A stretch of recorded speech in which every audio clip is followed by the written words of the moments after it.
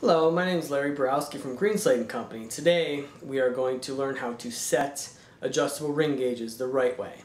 Um, there's lots of different methodology guys ideas out there about how they're supposed to be set, but if you do read the standards, you read your ASME B1.2, ASME B1.16, your IFI standards, your H28 standards, they all agree that the only way to set an adjustable thread ring is by a set plug. So let's go ahead and check, check this out real quick.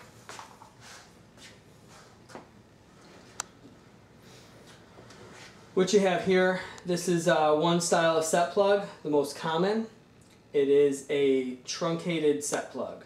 So what that means is that, I don't know if you can see this from, from the video, but you've got a full uh, a length of thread. This front section up to about midpoint is what's called your truncated section. And the back section, all the way to the back here, is called your full form section.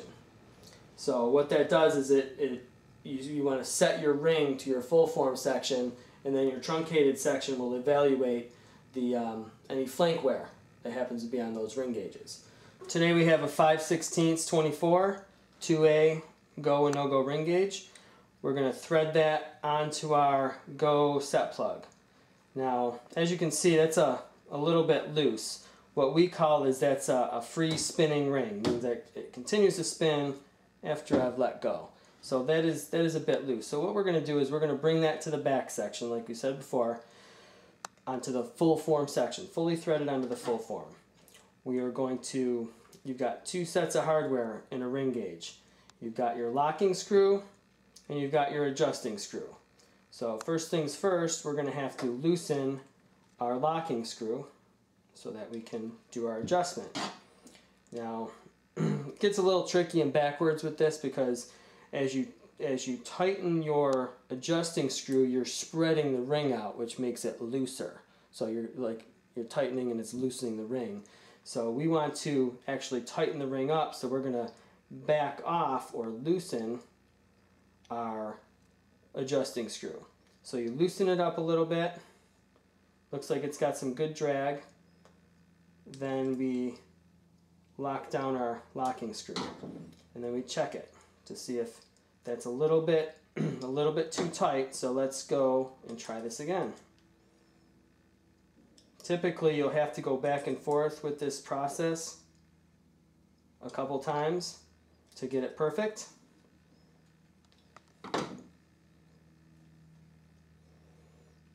Yeah, that's much better. It doesn't it doesn't spin at all. It's got nice drag on it.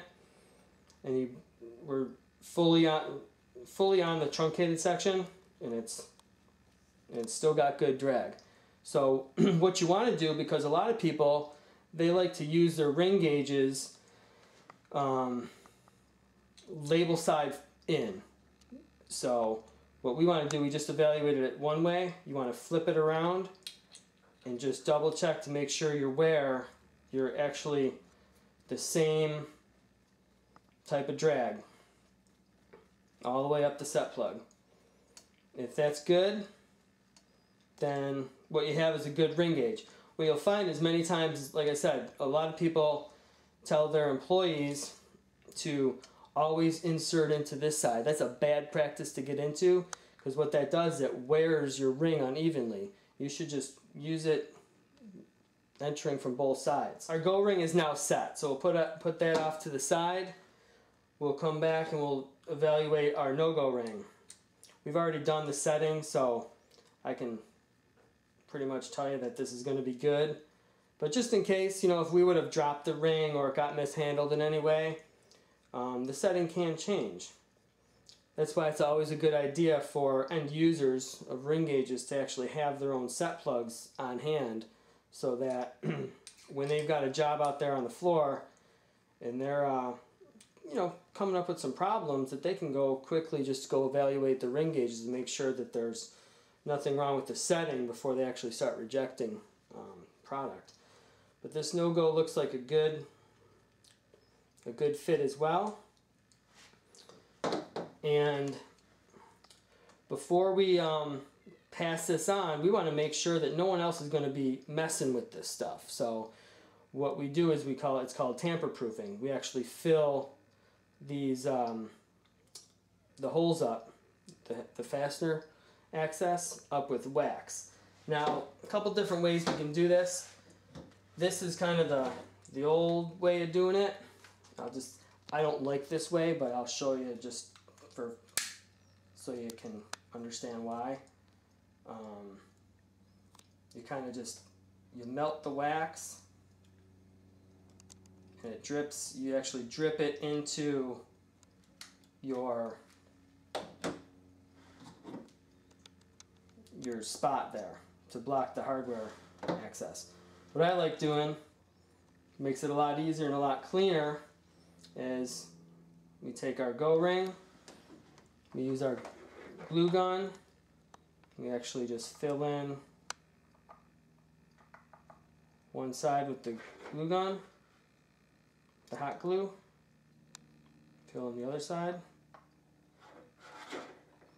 and then set that off.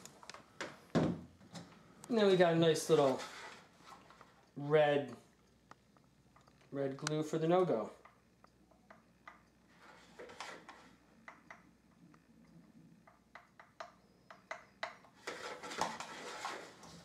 Now one cool thing that you might have might or might not know about ring gauges is that a lot of times, you know, after years of use and abuse out there in the shop, your your markings tend to come off. You know, you don't you don't quite see the size so well, you, or you can't. Is that a go or a no go?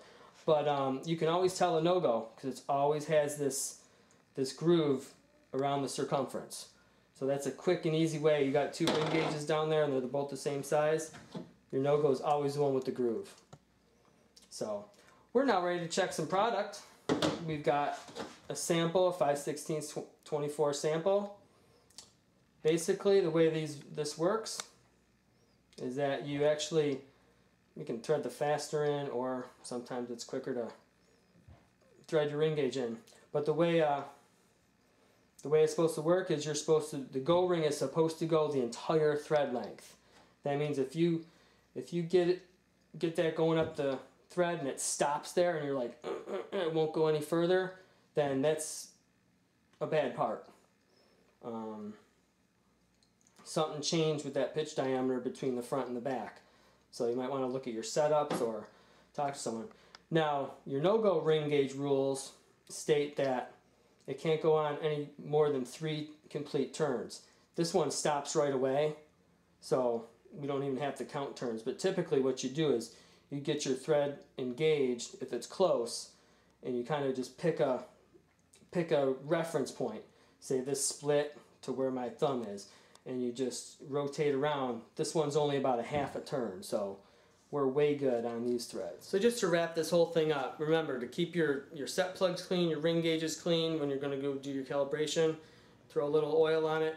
Make sure you set your go to your go and your no-go to your no-go side. You definitely want to evaluate the ring going one way and then take it off, flip it around and evaluate it the other way for any uneven wear that might occur. You want to make sure you're, you're tamper-proof hardware and you're ready to start using it for checking product. Um, if you want any more information on this type of calibration or stuff in general regarding threads and thread gauging, you can give us a call at 817-870-8888. Um, you can also visit our website. There's a ton of articles up there regarding the same sort of stuff with more pictures. And um, we'd be happy to do the calibration for you if you're not so inclined.